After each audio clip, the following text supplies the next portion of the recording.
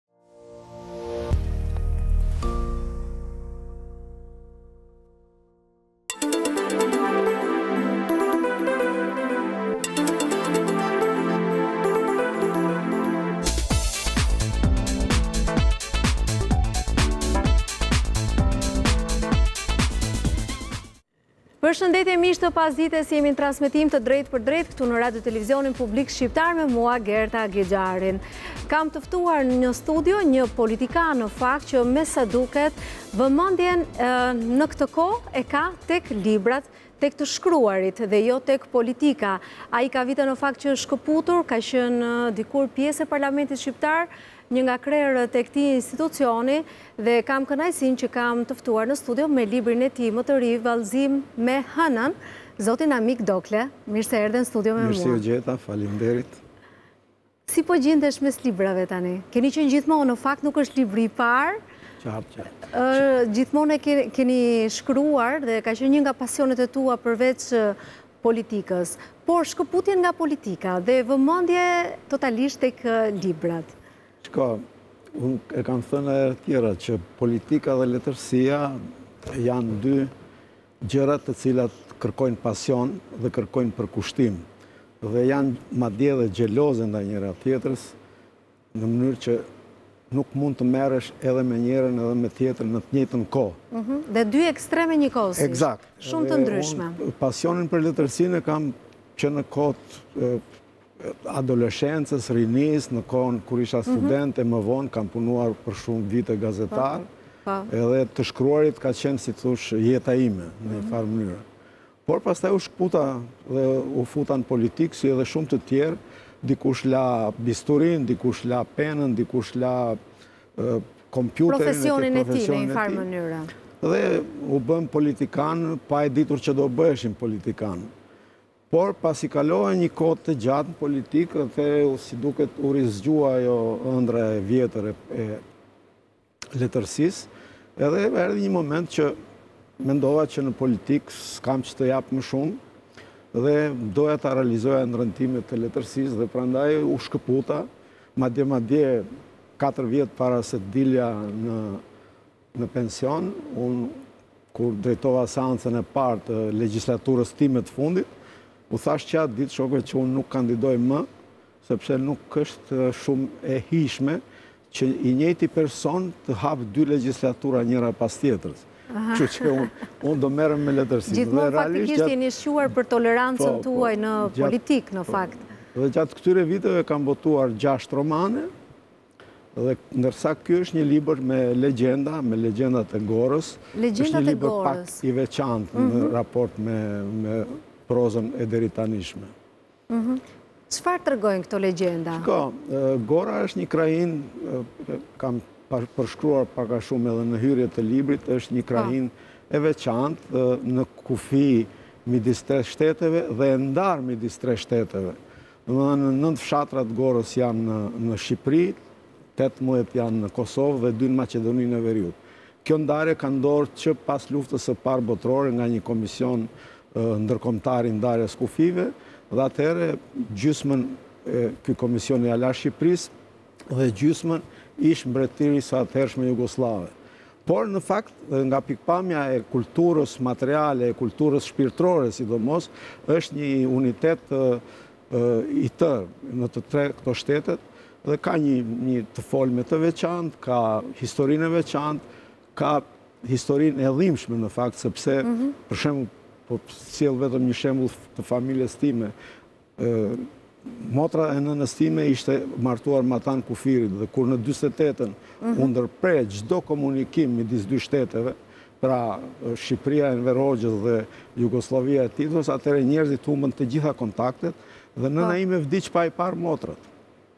Po kështu ka ndodh me dhjetra e dhjetra familje. Mhm. E megjithatë, kjo krahinë, populli i saj, sidomos vajzat, e ruajnë me shumë gjelozi kulturën shpirtrore të krahinës. Sot e kësaj dite, vajzat e Gorës, mbrëmjeve mblidhen në portat Në fshatin tim janë shtatë porta, në një tjetër më pak ose në një tjetër më shumë dhe këndojnë. Këndojnë dhe djemtë shetisin dhe këta këndojnë, bëjnë shaka me djemtë, këndojnë për, për hanën, për diellin, për zogjtë e kështu me mhm. radhë. Dhe kanë ruajtur me shumë, me shumë dashuri atë që është kulturë e tyre. Po. Pra, ajo çfarë atyre u përket, pavarësisht se nuk është shkruar në libra, nuk është transmetuar në radio, në televizion jo jo, ata e kanë ruajtur sidomos vajzat dhe gratë sepse burrat e Gorës për arsye ekonomike kanë emigruar jo tani, po kanë emigruar me vite e vite përpara, madje madje edhe kur Neil Armstrongu Shkoi për herë të parë në hënë dhe zbriti dikush e pyeti, pyeti, more gjeti ndonjë gjë atje në hënë? Edhe një i tha, gjeti një goran.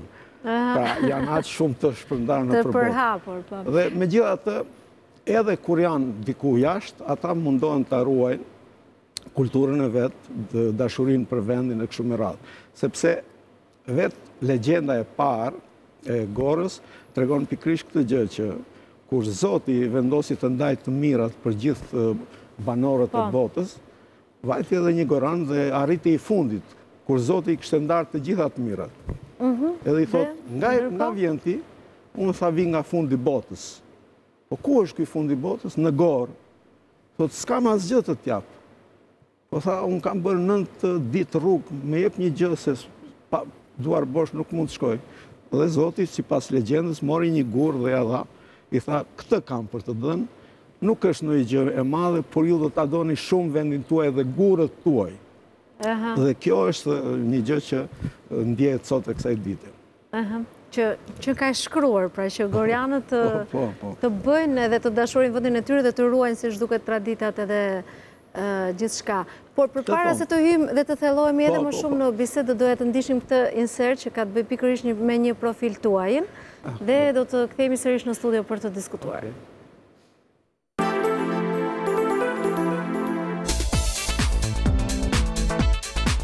Kemi renditur pak a shumë të gjitha funksionet e tua politike. Më shumë vite keni bërë politikë apo keni shkruar si shkrimtar? Jo, në tërësi më shumë kam kaluar vite me të shkruar, sepse kam qenë 20 vjet gazetar dhe tani kam 7 vjet Edhe gjatë kohës së politikës, herë pas here e vidhja pak kohë nga politika për të shkruar, por të shkruarit intensiv pas daljes nga politika është në këto vitet e fundit, sidomos në këto nëntë vitet e fundit, që jam marrë vet Vetëm me letërsi. Domethënë, ke marrë pak a shumë stres nga ana e politikës dhe tani po fillon të qetësohesh? Po, po. Megjithatë politika na përzihet përsëri nëpër këmbë. Për shembull romani i fundit që paraqitët ju, 10 gram nder, nuk është gjë tjetër, veçse është merret pikërisht me politikën dhe me politikën e pandershme. Prandaj është dhjetë gram nder titulli i romanit. A ka ndryshuar mendon politika e sotme nga mënyra se si bëhej politikë në kohën që keni qenë ju? Nuk mendoj që ka ndryshuar shumë politika në tërësi, por ata... Mënyra se si zhvillohet politika dhe si bëhet... Edhe mënyra e të bërit politikë është pak a shumë ajo që ka qenë, por ata që bëjnë politikë ka ndryshuar.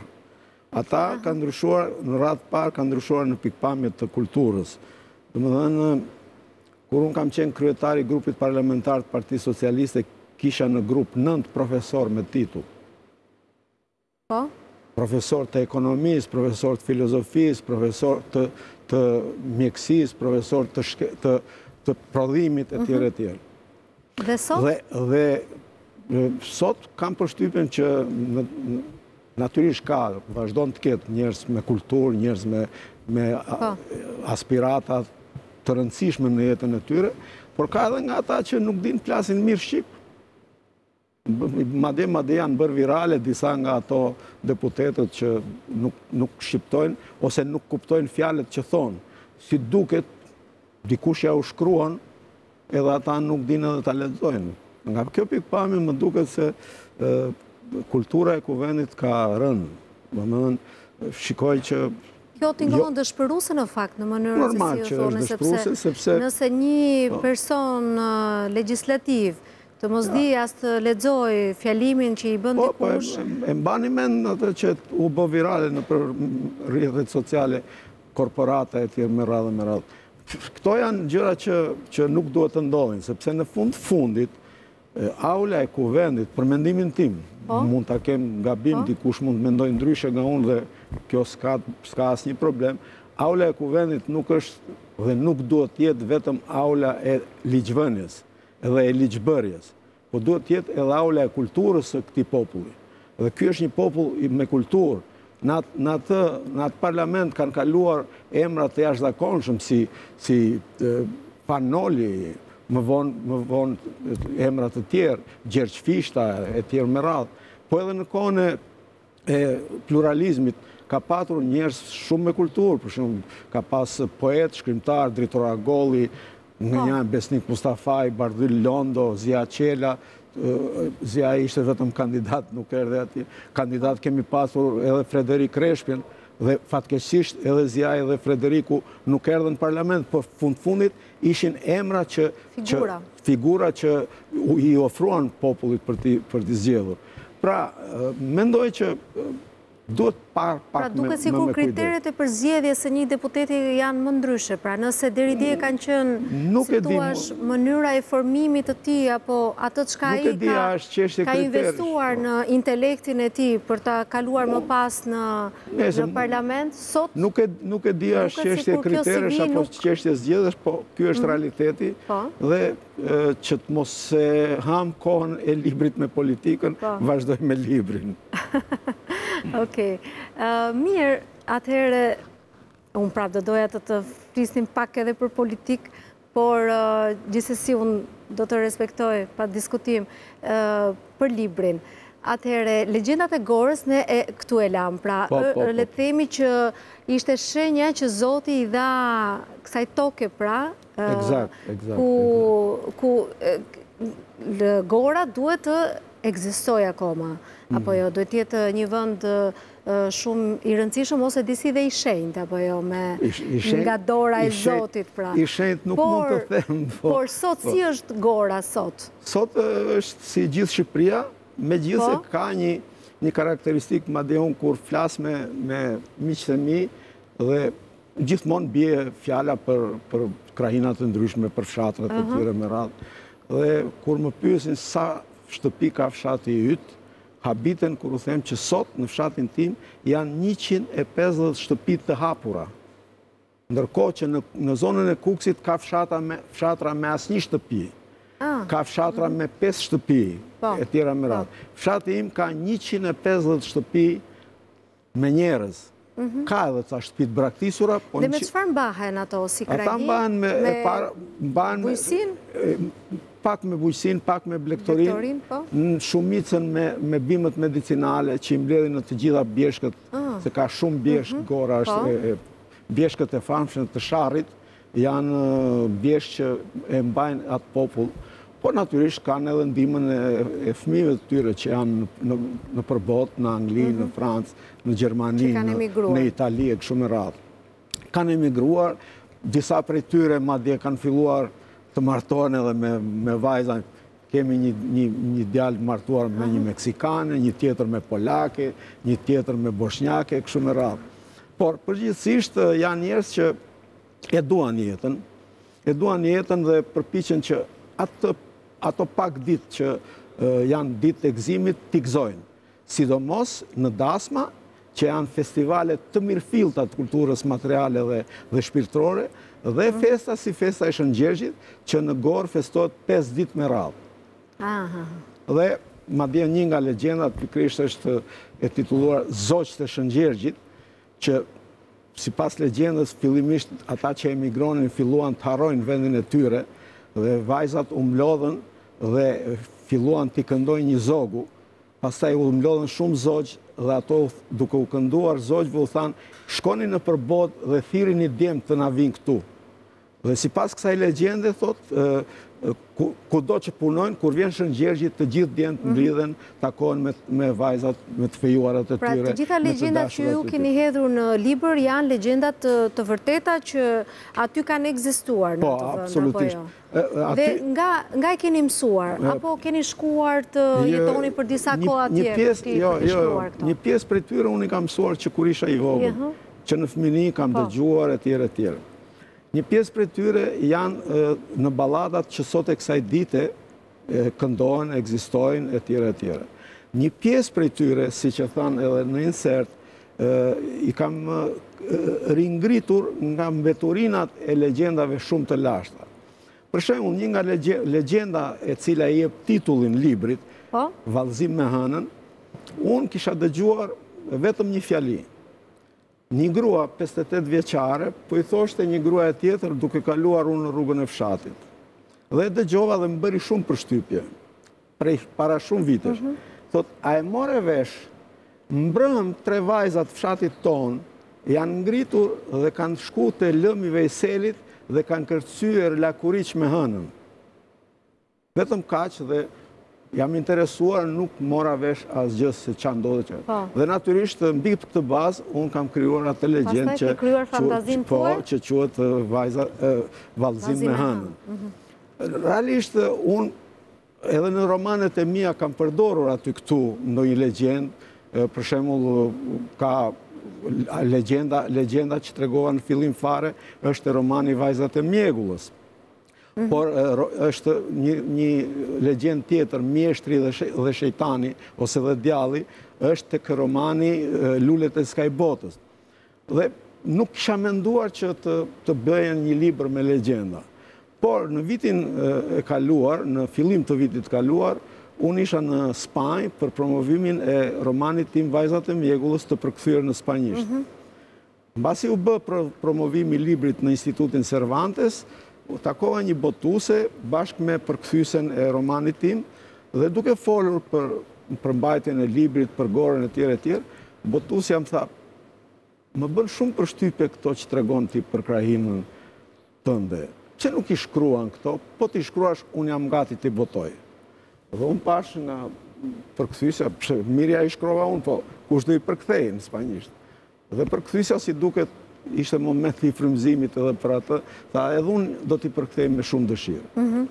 Dhe Kështu lindi ideja për ta shkruar këtë libër në një rrugë, Sagasta të Madridit, një rrugë e famshme e Madridit dhe kam punuar një vit pa ndërprerje derisa arrita ta bëj këtë libër dhe është një lajm i mirë për mua, po po e them këtu në televizion, që dje Unë kam nënshkruar kontratën e botimit të legjendave në spanjisht, sepse ndërkohë që pregaditej botimi në, në Shqip, unë ja kisha dërguar, në momentin që i dërgova në mhm. shtëpinë botuese këtu, ja kisha dërguar përkthyeses në Spanjë, dhe ajo është në përfundim të përkthimit, dhe këtë vit botohen edhe në spanjisht.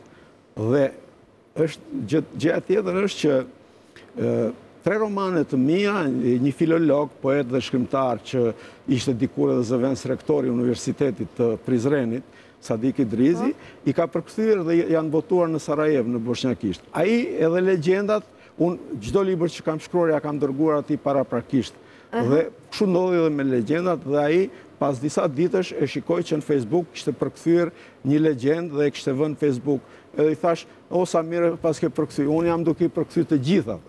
Dhe ah. është përkthyer dhe tashmë... Ka ngjallur shumë po, interes. Pra, tashmë libri është i përkthyer në boshnjakisht dhe është dërguar në Sarajevë, në shpinë botuese, Connectum, mhm. që ka botu tre romanet e mhm. mia. Dhe ça ndodhi dhe një gjë tjetër kurioze.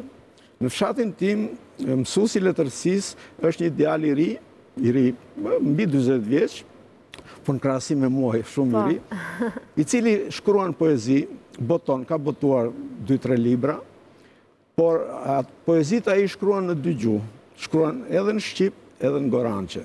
Dhe unë ja dërgova legjendat atij në shqip, dhe ai më tha që sikur t'i përkthej në gorançe dhe janë përkthyer edhe në gorançe dhe tashmë janë gati për botim, është në procesin e faqosjes dhe natyrisht do të shkojnë për këtë. Pra, si është gjuha gorançe? Është është një një slavishte arkaike, por natyrisht e përmbytur me me struktura dhe fjalë edhe nga nga gjuhët me të cilat fqinjëron. edhe nga sërbishtja, nga maqedonishtja, nga bullgarishtja, nga shqipja, e kështu me radhë. Por... Dhe atje flitet kjo gjuhë? Flitet vetëm kjo gjuhë dhe megjithëse... Për shembull të dua, po, si i thonë në gorançe? Te sakam. Si? Te sakam. Te, të dua, te, të, te, Dua sa kam. Sa kam, po. aha. Dhe kjo tingëllon krejt ndryshe edhe nga po. sërbishtja, edhe nga mhm. boshnjakishtja, edhe nga... është një gjuhë e përzirë, jo, pra nga të jo, gjitha... Jo, shiko, ajo është një gjuhë arkaike e cila, e cila nuk është përpunuar në as në shkollë, as në libra, dhe natyrisht kanë ndikuar edhe gurbeti, mhm. radio, televizioni, që nuk kanë qenë në, në, në këtë gjuhë. Dhe prandaj, por, Pavarësisht pretendimeve të, të fqinjve të po. Gorës, Goranët thonë që ne jemi tanët, dhe e thonë Goran që ne jemi tanët, nuk jemi as sërb, as boshnjak, as maqedon, as bullgar. Pastaj këto punët që bëhen tani me pashaportat, Po, e kuptoj, është tjetër gjë. është tjetër problem. Unë po, po. flas për atë shpirtin... Po shqiptarë, quajnë veten? Po, po, patjetër. Mhm. Unë flas për ata që janë në Shqipëri, quajnë po. veten shqiptarë, ata që janë Kosovë, Kosovarë, po, ata që janë Maqedoni. Mhm. Pra, nga kjo pikëpamje, Pra nga kjo ndarje po. në tre pjesë, Gora në fund të fundit është viktimë e historisë. Dhe natyrisht nuk është e vetmja viktimë e historisë, sepse të tilla minoritete të vogla, të pambrojtura nga pikëpamja e etnokulturës, ka në botë shumë, janë rreth 25.000 në, në gjithë globin. Dhe secili përpiqet të ruajë identitetin e vet, trashëgiminë e vet kulturore kështu me radhë. Në momentin që do të botoje pra librin dhe botuesja juaj besoj e pa, e njohu historinë po. dhe subjektin e librit. E quajti disi komerciale pra të shitshëm librin apo nuk është ky qëllim si thua, jo, qoftë nga ju, qoftë edhe nga jo, botuesja e librit. Absolutisht, unë nuk Asnjëherë nuk ndjek komercialitetin e librit, sepse komercialiteti është pjesë pjesë e jetës tonë, po mua nuk nuk më intereson kjo. Për, jo se nuk janë shitur librat e mi. Për shembull, romani i fundit që nxora 10 gram nder, po? Panairi zgjat 5 ditë, romani u shit, um, tirazhi i parë u mbarua për 3 ditë.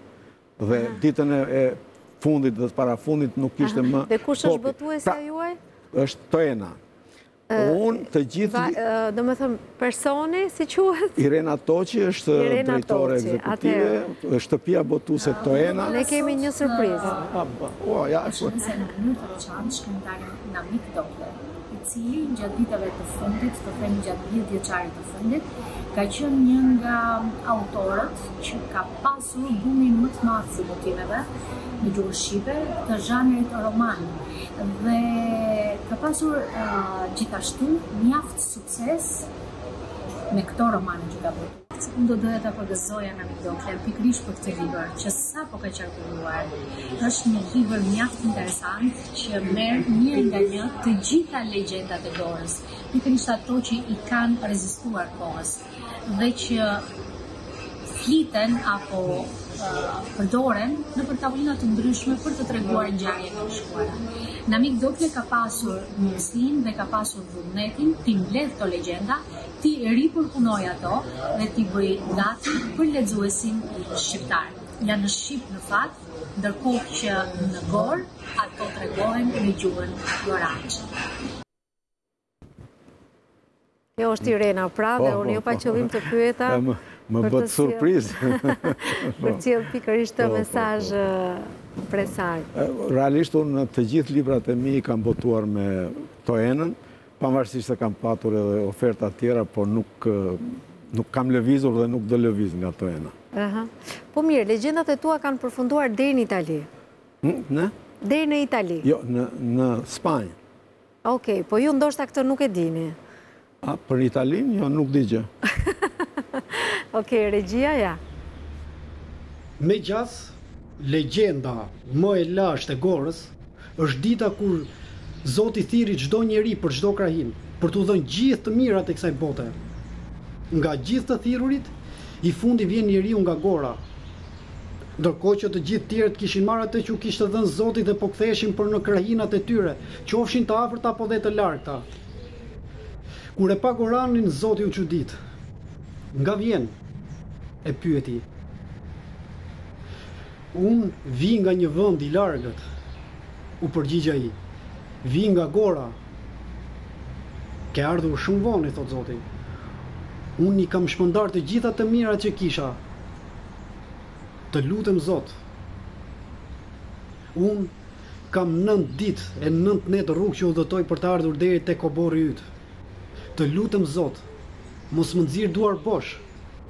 U përgjigj gorani. Zoti hodhi një vështrim rreth oborrit, pa një gur dhe ia dhuroi. Ja. Këtë kam dhe po ta dhuroj me gjithë zemër. Ndoshta në jetë nuk mund të keni gjithë të mirat e kësaj bote, por gurët e maleve tuaj ju duhet që t'i doni shumë. Faleminderit. Një fragment i shkëputur nga librat me legjendat e Goranit të autorit Namik Dokle, me titull Vallëzim me hënën. Unë, aktori Denardo, Ju përshëndet shumë nga Italia. Faleminderit. Faleminderit Leonardo. Pra, u përpoqëm të sillim disa vargje në këtë lloj forme, pra të librit. Surpriza të bukura. Faleminderit shumë. Faleminderit shumë. Më vjen mirë. Tani dhe një pyetje kam të fundit. Duke qenë se je jashtë politikës, si e shikon Berishën në ballkon dhe Ramën në fron? Të dy personazhet kanë qenë gjatë kohës që ju keni qenë aktiv në politikë dhe janë ende, edhe pse ju keni vite që keni dalë në pension. Më lini të merrem me legjendat dhe jo me këto. E donim një vendim. Nuk po të filloj të merrem me këtë duhet pastaj të futem në të thella, kështu që më mirë thellësitë po i ruaj për letërsinë.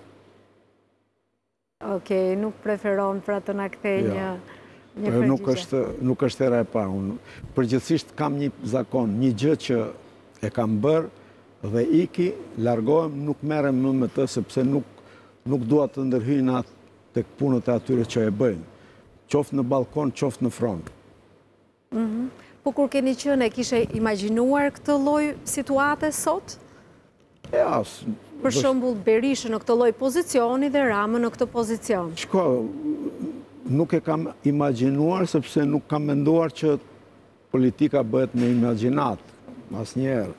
Kurse Ramën, që Rama do jetë në këtë pozicion e kam menduar sepse kam qenë pjesë e grupit të tij po. politik, kam shkuar në gjithë Shqipërinë bashkë me të, në atë që e quanim dialog me Shqipërinë e tjerë e tjerë, po. dhe e rëndësishme është që partia socialiste erdhi në pushtet, Dhe po qëndron po, gjatë në po pushtet dhe po që reziston... Po qëndron aq sa ta votojë populli, unë mendoj që edhe për ca kohë do e votojë. Dhe uroj ta votojë. Mendoni që do ketë ende një mandat tjetër, Zoti Rama. Të katërtin? Të katërtin? Po. As që diskutohet. As që diskutohet, i katërti është i, si thonë këta bas, bastexhinjtë e futbollit, e kanë në xhep. Ah. Fit, për shembull thonë, Reali i Madridit e, e kanë në xhep fitoren, ta zëmë, ose Interi, ose kujtë, ose kush, ose Manchester City, ta zëmë. Po, e kuptojmë. Nuk dua të hyj në analiza të thella, po jam i bindur për këtë, sepse kështu kanë ardhur punët. Kështu kanë ardhur punët, nga ballkoni nuk vihet në pushtet. Mirë, unë të falenderoj shumë që ishe në këtë intervistë me mua dhe që u bëre pjesë e pasdites dhe të uroj shumë sukses edhe për librin. Faleminderit edhe ju. me Hanën. Faleminderit edhe ju. Miq të dashur, do të kemi një shkëputje publicitare për të kaluar në pjesën tjetër të programit me të ftuar të tjerë.